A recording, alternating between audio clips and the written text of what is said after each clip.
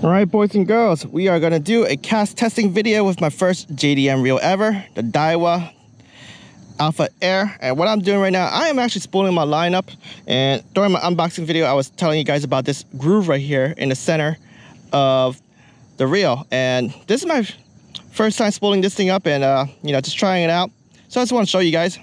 I got the four pound test mono, and this knot basically gets pushed down in here and uh, it should prevent your line from catching that when you cast. So it's not gonna uh, impact your casting distance. But anyway let's pull this thing up. I got four pound casting FluoroKote which is a copolymer line. And let's go catch some fish. Well actually just cast testing. So we'll be casting some light lures today I filled about 75% of the way up because, you know, this is a small spool. I just want to make sure I have enough line. But this is a light spool anyway, so having a little bit more line is not that bad. I really want that diameter wider, right, so that you cast a better distance. So let's see how this goes. If it's bad, then I'll strip some line. I'd rather put more, and I'll strip some line later if I need to. But in fact, I'm, I'm this is max. We'll call this max because it looks like like a micromillimeter to the edge. But let's do it. By the way, guys, my rod setup today is the KastKing Zephyr, and it's ultralight. It's rated for one to eight grams, two to 10 pound test line, and this thing is 1.68 meters long. All right, the first lure we'll cast today is the ice fishing jig. This is the new Eurotackle their Z Viber, and this is the micro version. It's smaller than the original. I'll probably put the uh, side-by-side uh, photo for you guys to see the difference in size, but still 1 16th ounce. And uh, we're gonna play around with the first cast right now. Standing right here, and I'm gonna jack the brakes up. Hell, I'm just gonna put at max just to see what's going on because I, I didn't like the uh, Tatula when I changed it to a shallow spool. And um, oh man, there's stuff blowing out over there. But uh, we're not gonna focus on catching fish today. We're just gonna let this thing uh, fly. And you can see that this 1 16th ounce, we'll just roll off this reel here, right? Look at that, it rolls right off. So it's, it's, it's, really insane. In fact, I'm just let it drop and see if it's overspools. It does over spool, so this is insane. I may have to tighten uh, the, the tension knob, but right now the tension knob is set to just, you know, so it doesn't wobble. And um, it could be a learning curve using this JDM reel because the braking style is totally different than uh, my CDM stuff. So let's give it a shot. First wing, soft one. And all right, so with the brakes high, you know, it didn't backlash, but it's still cool to see myself casting an ice fishing jig. That's that's freaking crazy. All right, so I'm gonna drag it down to 16 brake. By the way, there's 20 clicks here. It goes a little bit to the left. The wind is blowing to the right, and it's likely because the brakes is on high. So let me lower it just a little bit more. But so far, I'm not backlashing, not overspooling. Uh, uh, like crazy, so it's good. I'm at 14 right now. And sorry for the wind, it just had a storm. And yeah, so not getting that distance here. I am using the stock bearings, by the way, which likely is greased. If I clean it out, it's likely gonna cast further, but I'm not gonna clean out their stock bearing. So I just compensated right there for the cast. And I get ac accuracy, but the distance is not there. And I'm dropping it down to 10 breaks. A moment of truth. Oh, yes. I can feel the uh, distance now. I can feel that, that this thing is spinning pretty relatively fast. And the wind is circling around here. It's blowing against me, actually. Actually, like it's coming here and here. It's like going in a freaking circle. All right, let's try to go down a little bit more. I'm got I'm at eight, okay? This is getting a little bit more insane. I wow, I can't believe this. This is way better than Tatula. Let me double check my rod guides and everything. But this is this is great. I'm gonna walk over there to my typical casting spot and do one cast for you guys just to see the distance. But as normal, like uh, any of my BFS reel, you can't really cast that far out of the box. But this guy's relatively, relatively good. And it's easy too. All right, guys, I'm back at the spot. But I'm just gonna lightly cast into this deep spot for a second, but I overspooled there. Hmm. And there's mosquitoes here, that sucks. There are mosquitoes here. I, uh, I'm just gonna do a cast right here That is impressive for a 16th ounce. That is 45% of the way. Imagine when I upgrade this spool to the Roro spool, because they have a spool and it's lighter than this here. And I see a lot of bass right in front of me, to the left actually.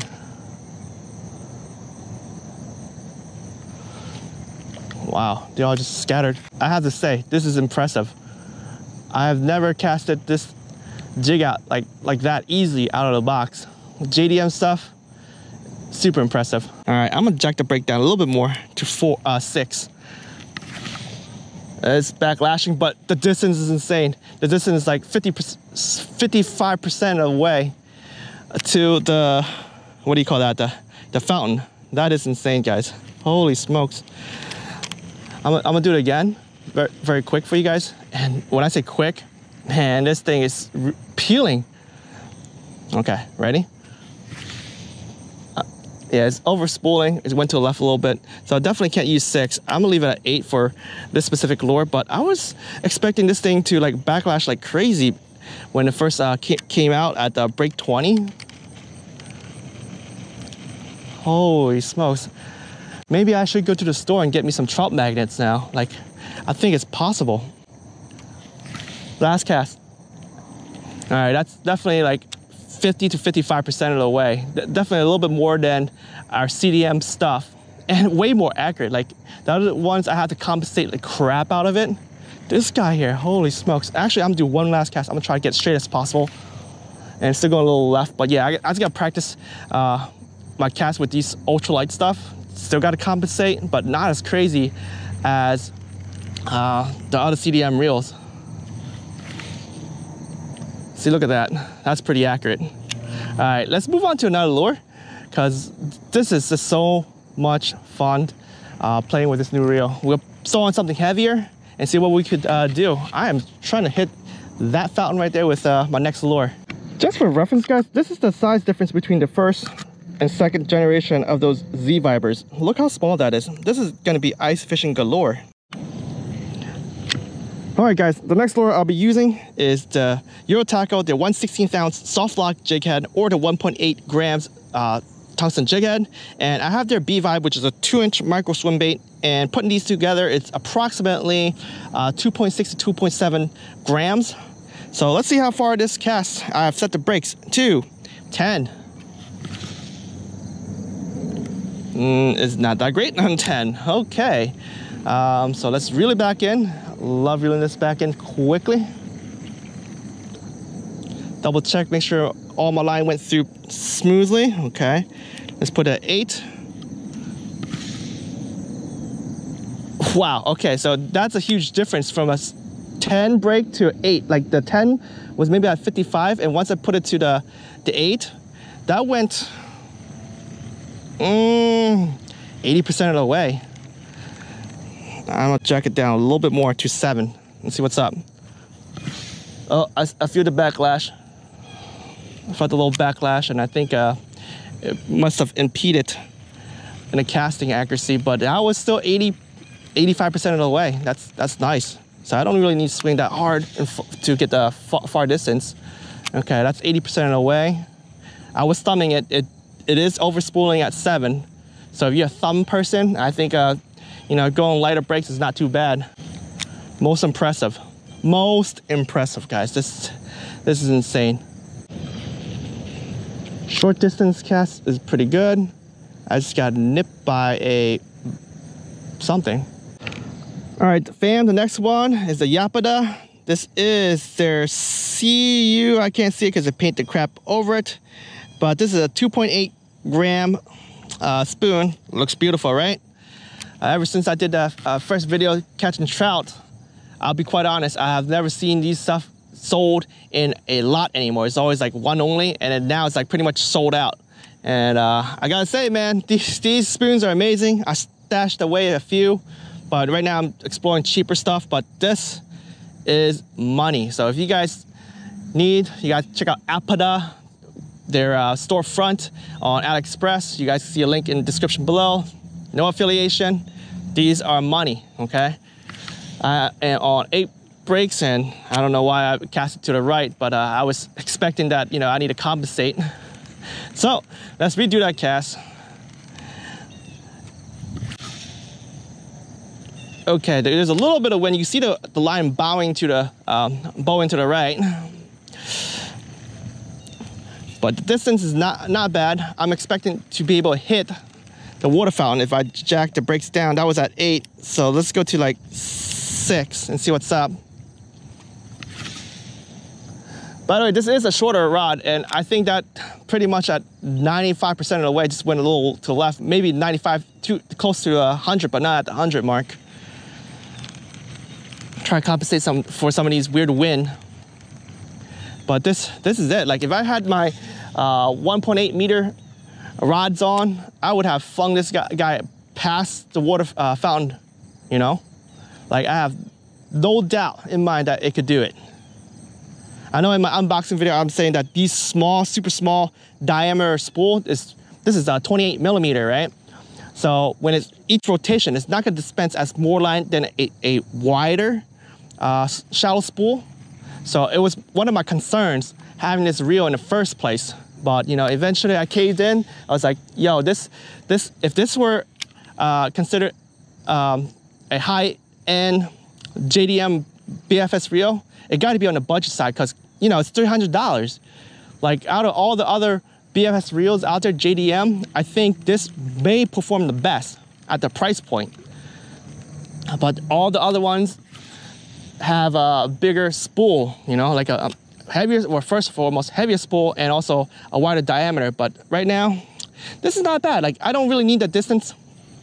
I think this distance right here, like out of the box is amazing and perfect. I'm trying to think right now, uh, Spirit Fox, Spirit Fox, Spirit Fox, Spirit Fox. I think I had to upgrade to micro bearings in order to hit that and pass that a, a little bit further. So, um, and of course you need the, the thicker rod, the bigger rod, longer rods. So this, this is most impressive. Holy smokes, guys. I think uh, anyone who wants a high quality reel, this is it. High quality reel at this price point, JDM, performance. I mean, I'm sure you guys could upgrade this for a little bit uh, better performance, but out of the box, it'll do you really, really well. All right, we're gradually increasing the weight. This is now a stick bait. This is at 3.1, this is from Tsurinoya. 3.1 grams. Uh, I'm gonna jack it up to eight, just no, seven, seven's fine. Let's see how far this goes. It did not backlash at all over spool at uh, seven. So yeah, this is this in. That was relative, super duper far. I think that was uh, probably like 95% of the way, but let's just jack it to, was that six? One, two, three, four, five. That's actually at six, not seven. Holy smokes. Oh, that's my first backlash. I put it at six and I, I overwinged it. And moment of truth, I want to show you guys this. If it if the line actually goes into the side and you know what, I'm just looking at this spool right now. There's no way in heck that this line will ever get into the side of the the reel. Cause it's, it's just it's just that uh, you know, no gap. The tolerance that they made here, everything measured out perfectly, like perfectly. See that? I know I did it, uh, showed you guys before in, you know, the unboxing video, but if you guys look closely after I finish reeling this in, look at that. There's no way any line could get get into that, so that that's good, very good. So guys, I'm a cast softer, but I'm gonna leave it at the seven mark, and it looks like it's not good. The wing, the wind started picking up a little bit, so I'm gonna check to eight, do it again, but this is a shorter rod than, you know, some other stuff I throw. So jacking up to the eight break mark definitely drops some uh, distance compared to the first one. So I'm gonna drop back to seven and try to cast again. Hopefully I cast it and you know get it as far as I can. Okay, that's softer cast. And wow, that's 85% of the way. At the seven. I'm gonna do six one more time, guys but I'm not gonna cast it till like, you know, it breaks my arm or something, you know, or snap the line like when it backlashes. So let's try six, I'm gonna cast softly. Yeah, the soft cast right there, that's probably like 85% of the way on a six break. That is amazing. but I'm gonna probably leave it at seven and you know walk around a pond and, and use it to slay some bass because I saw a lot of fish moving on the side earlier and I have no idea if they want this.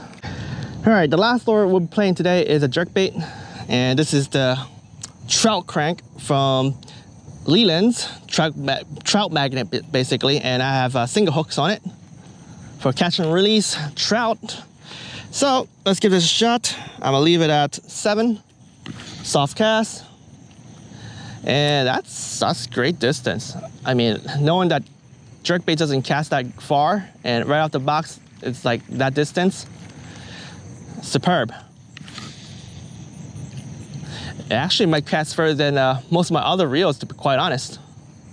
Even with the upgrades. I wonder if it's because the, the, the braking system here just allows it to cast better. Let, let me just put the brake down to six. It overspooled there in that one, but you know, eventually it fixed itself without thumbing because I didn't cast too hard. Well, that is amazing. This, this, is, this is by far the best bait casting reel I ever owned in my life. That is the furthest it went. Maybe the wind blew a little bit, but that was 75% of the way and I did overspool so I can't really count that. You, I only count my casting distance. I mean, I'll tell you how far it went, right? But I don't count it until like it casts perfect, no overspooling. So I'm gonna do one more time. At this break number six It's overspooling like crazy now for some reason. Yeah, the wind just picked up. You see, uh, yeah, I don't, I don't think it's good to cast this at six. But maybe if there's no wind, I could do it, but you know, realistically, I wouldn't try. So um, perhaps, just perhaps, I'll leave at seven. And um, maybe if I upgrade bearings and you know change the other spool, but I don't think you could really do that much with this style of jerkbait. Again, I think the jerkbaits with the internal weight chamber system will allow you to cast further, just just not these cheap cheapos.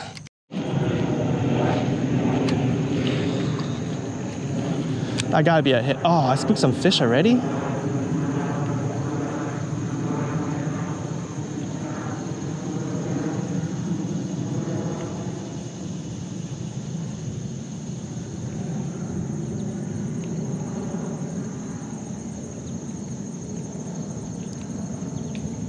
Oh, there we go. Oh yeah. Believe it or not, it's not even a bass. It's a bluegill. That's what I'm talking about. First fish, first fish. It's one of those Mondos blue, and look at all these bass. It's like trying to attack it. It's like, I want that lure. If I hook up on another bass or fish, that'd be crazy, but look at that. That is insane. Look at this big Mondo bluegill. Let me just uh, get some line. Oh, oh, oh, no, no, no. He came off partially. I don't want to get spiked or uh, hooked, trouble hooked. So let me just grab that right here. There he goes. Look at that. My first JDM reel. All right, in you go. That is amazing. Put him back in quick.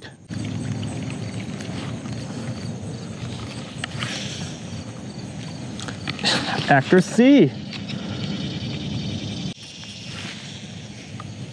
See, got it this time, but you know, I probably spooked every single fish that's right around that corner. But man, I am impressed with this freaking setup right here. I cast so accurately.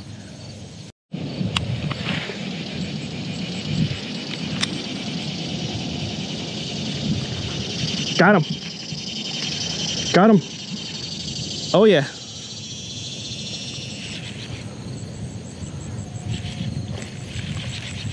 Here we go keep down. It changes direction a little bit. Good hop. Oh yeah.